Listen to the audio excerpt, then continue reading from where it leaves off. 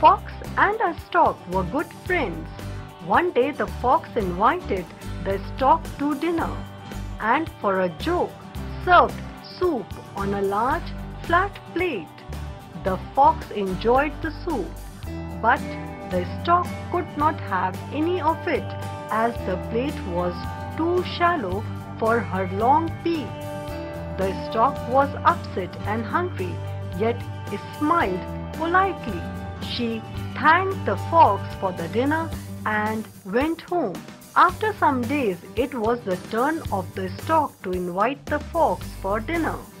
When the fox arrived, the stork served soup in a tall jug. The stork drank the soup easily, but the fox could not reach inside the tall jug. This time it was his turn to go back hungry.